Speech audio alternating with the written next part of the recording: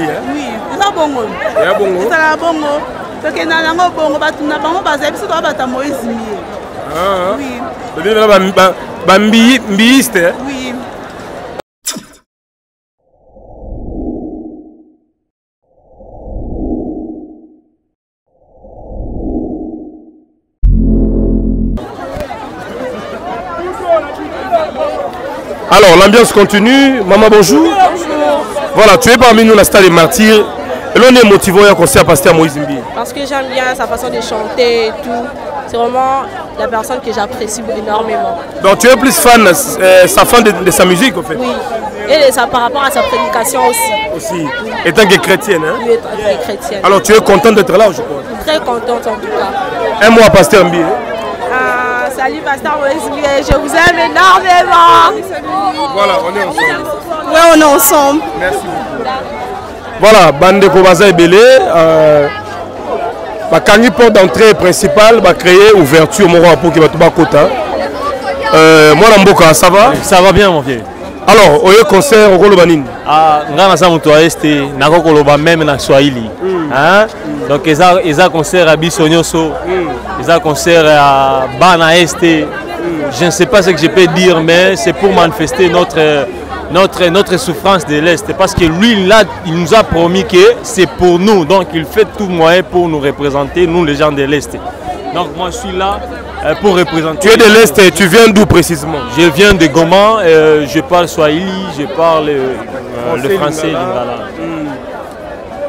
yaya bo filme nga pardon eza oui oui euh, c'est ça c'est un peu ça donc outi pena goma oye concert hein? oui oui na ye concert hein. oye concert ah, oui. donc tozo compatir na bandeko ya goma malgré l'insécurité nous osons croire que euh, les autorités compétentes va remettre euh, kimia kuna hmm. toza toza ebele toza na équipe wana aza petit frère na ngai mais naokoloba mpe na swahili loba pesa message ah,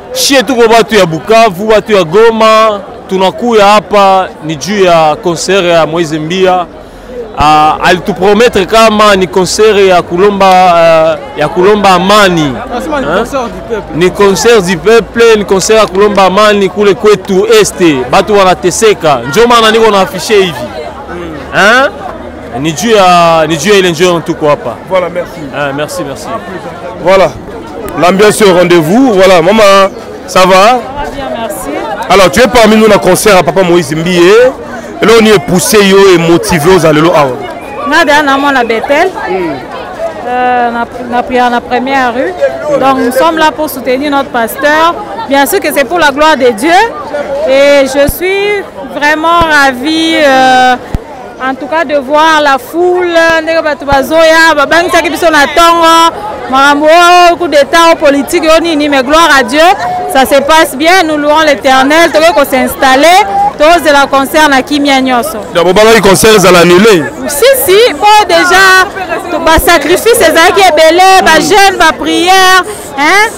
To soutenir pasteur na ba prière na ba jeune, siko lelo jour J makambo ebeba.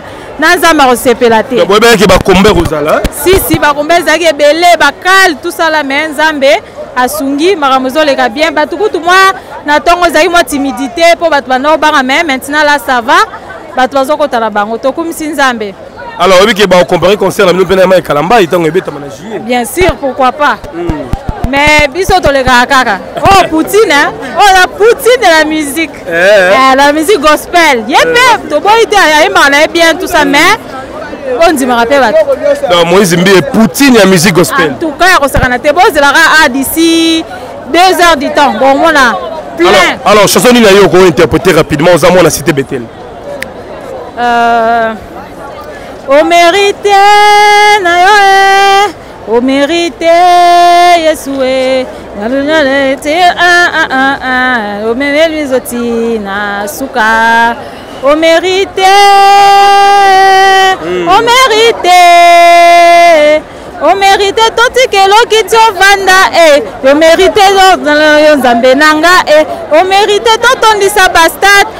mpo tokumisa yo nzambe alola e voilà toza mpo na kotondisa stade merci voilà on est ensemble merci beaucoup ser na biso ya betel j'espère que tokosala plein makambo eleka kimia merci beaucoup voilà lakisa nanga bato bazokɔta kuna donc euh, nous sommes là Mimi Ndume depuis Mushing là-bas, je vous salue. Les célèbres Edien Nzundu na Washington. Nous nous sommes ici à Kinshasa, la capitale de la RDC, comme vous le, sent, comme vous le voyez. Donc, euh, surtout ma jeune fille. Église à Moïse Mbi, eza na basi, hein. Na remarqué ma chérie, bana basi ebele. Donc, euh, ça nous fait du bien. Obi ndeko. En tout cas, na sibalo makasi ba vidéo sala sur YouTube, ba intervention na monaka, na même na musique na politique, na sibalo makasi.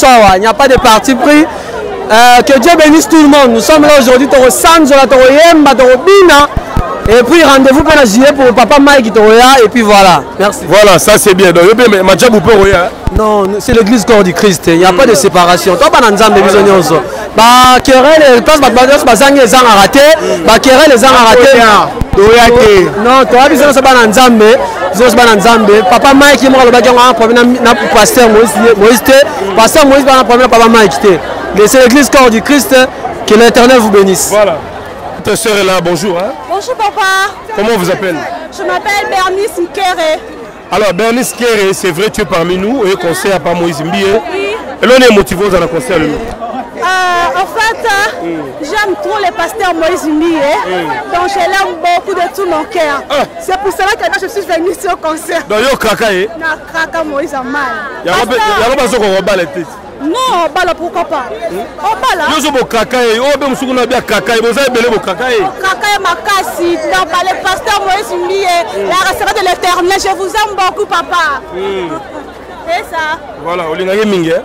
pesa ye bisou Moi, pasteur, j'attends voilà. beaucoup. Alors, concert P à Madja Borozala, Mike Alambay Non, Kozala, pourquoi pas ah, okay. Pourquoi non, Zala, papa mm. Voilà. Merci. Mm.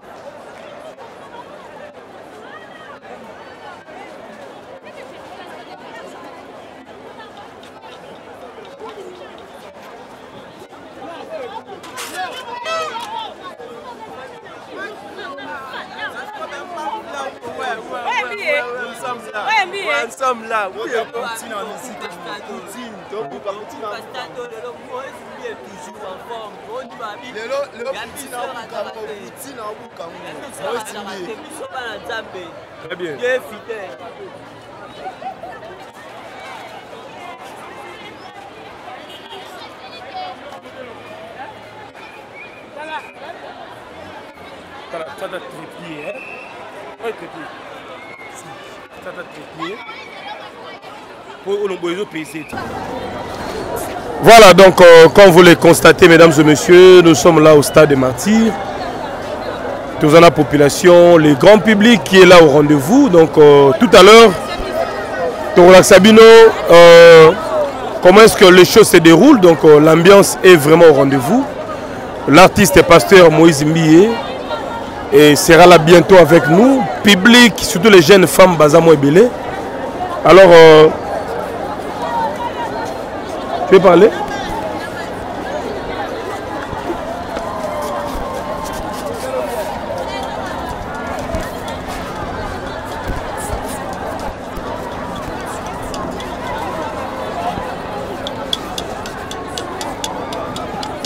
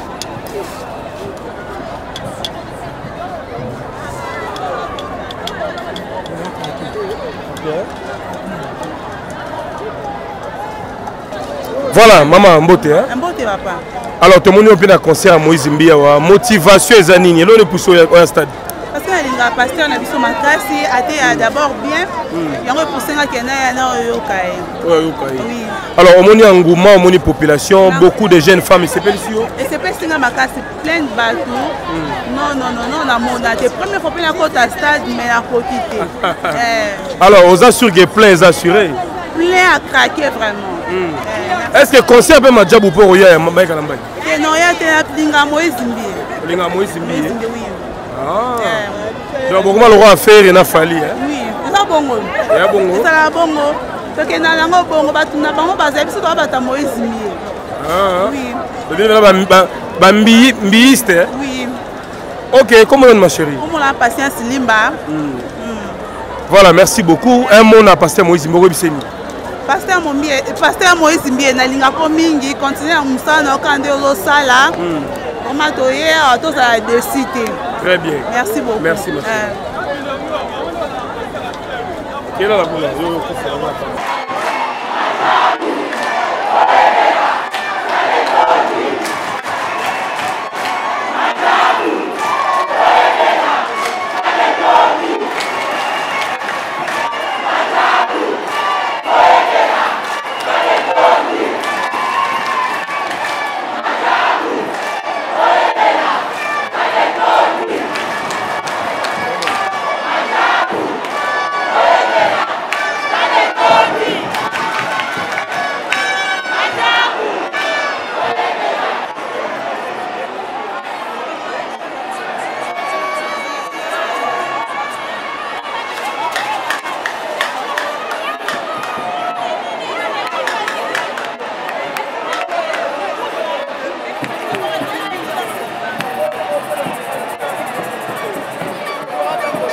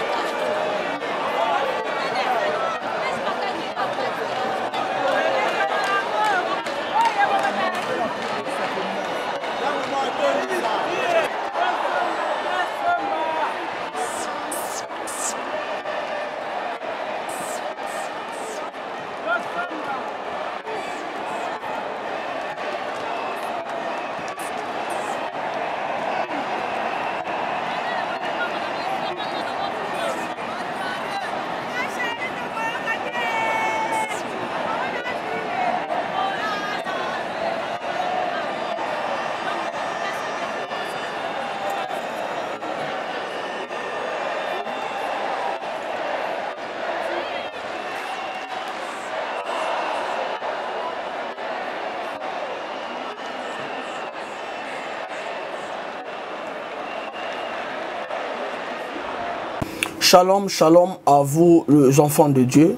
Na Pesibino Mbote na Kombo na Yesu, c'est bien moi votre frère, le pasteur Israël Nash. Je vous salue au nom de Jésus.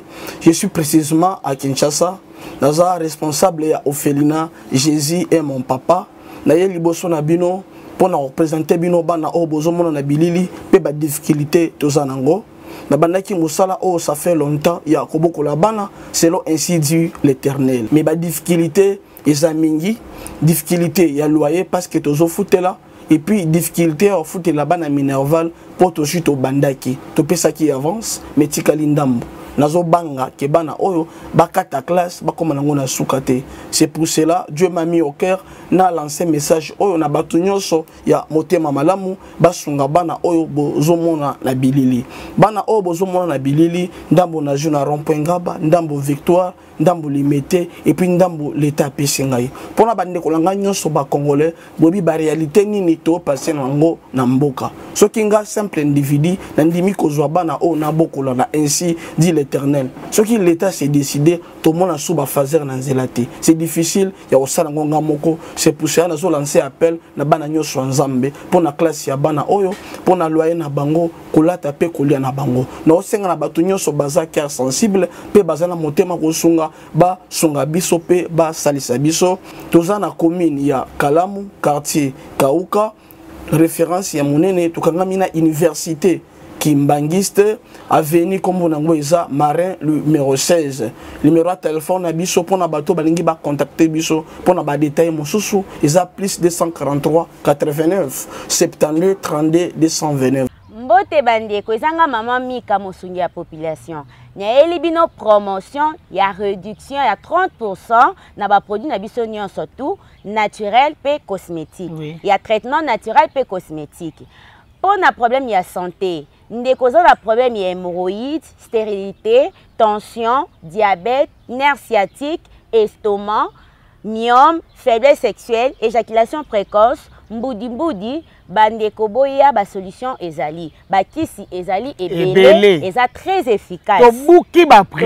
baprix na 30 Côté cosmétique, tous na ba produits na biso tel que thé métis, oui. toza na thé métis, toza na crème de beauté Mika, mafuta ya kopakola, toza na savon, savon na biso gommant oyo ezo traité, eza contre ba tache, ba acné, ba bouton pe ba vergeture.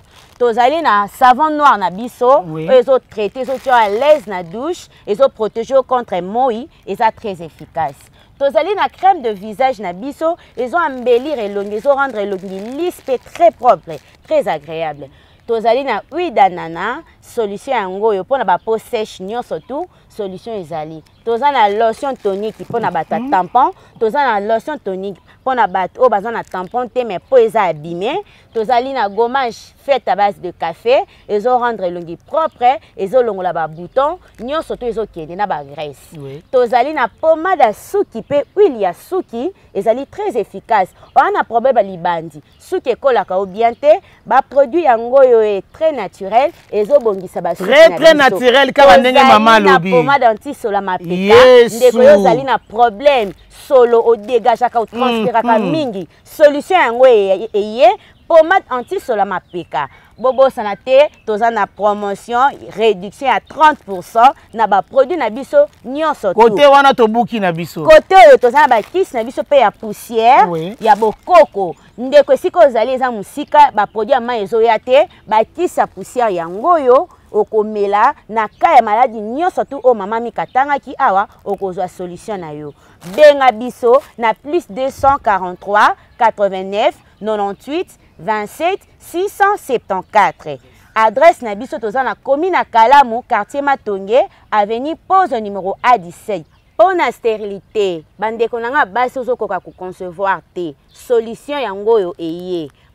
Papa ozo koka ko pesa zemi te. Ba kisi yango eye eza très efficace. Boya ebele boya ebele bokozala dessus te. To buki ba prix. Ngai 7e naza awa. Ngai 7e baga naza awa. Bye.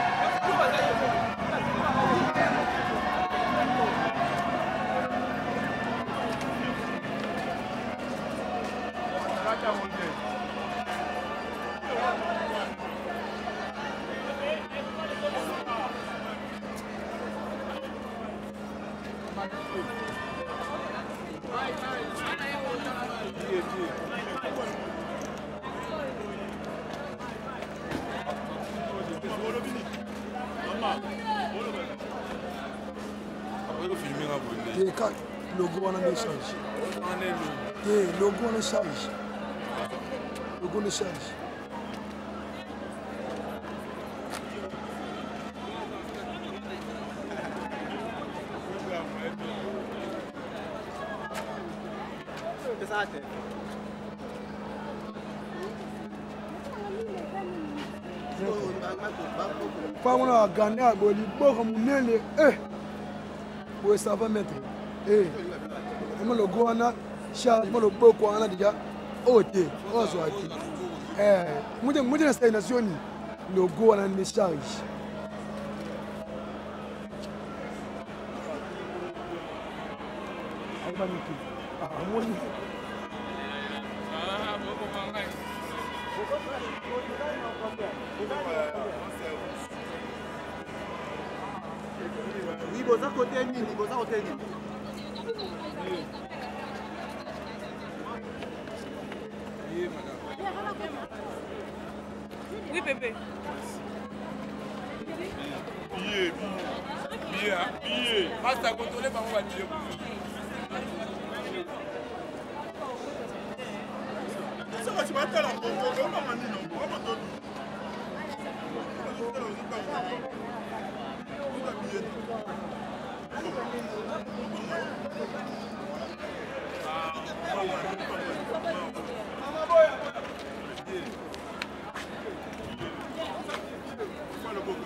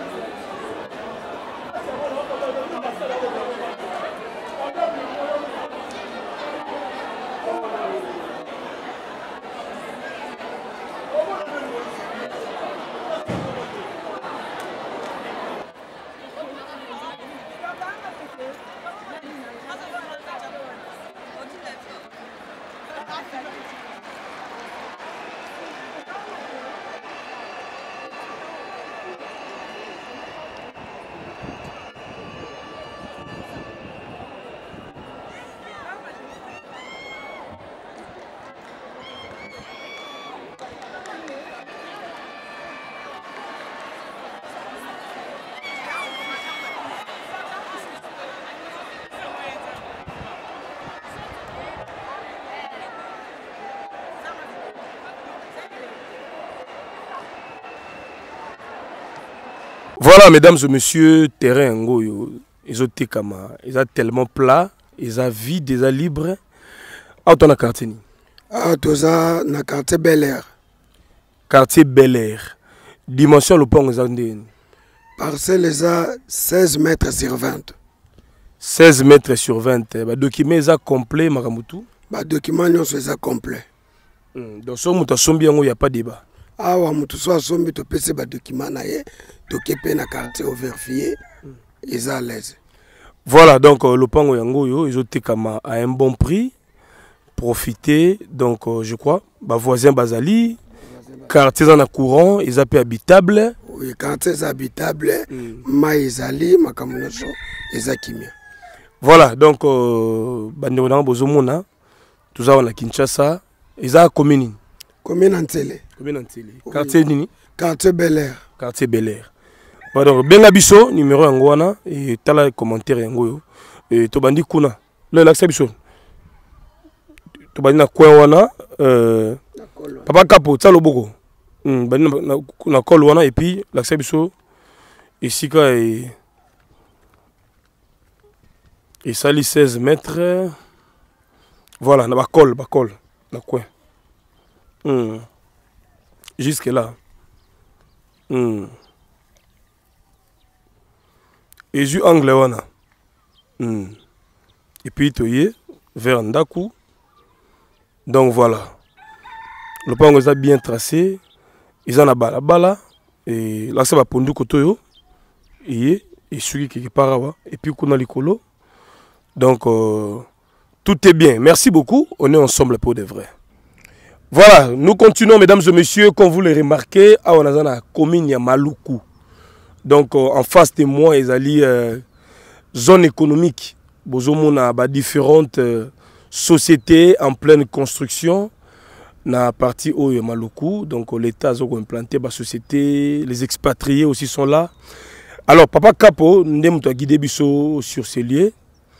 botie double terrain en vente monde entier baotala biso dimension ya terrain eza ndenge nini ah, dimension nango ezali eza na largeur ya 20 mètres mm.